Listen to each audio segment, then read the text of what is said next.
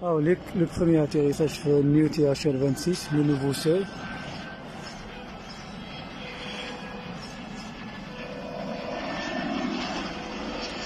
Il vient de se poser avec une piste nouée.